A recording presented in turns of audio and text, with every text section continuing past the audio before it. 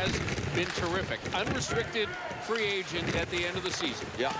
Uh, Daryl Sutter made the point, uh, we're going to get a penalty here. Now Richards has dropped the gloves.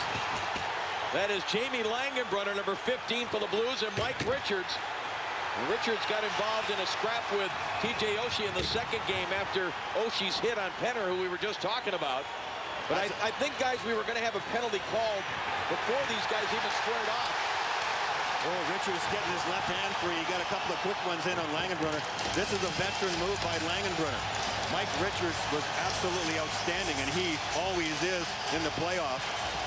He got things rolling in game two, as we pointed out, and Langenbrunner takes him on early on in this game and gets him off the ice. That's a big thing for the St. Louis Blues. Yeah, pretty darn good trade, isn't it? You Yep. get Richards out of there, and you get play a little bit of probably four-on-four hockey.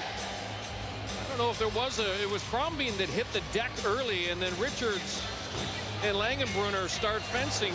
You know that Langenbrunner would love to see the gloves fall off the hands of Mike Richards, but uh, Richards doesn't back away. That was there was a lot of stick work going on there for sure. That's two veteran cagey guys and mutual respect there for sure.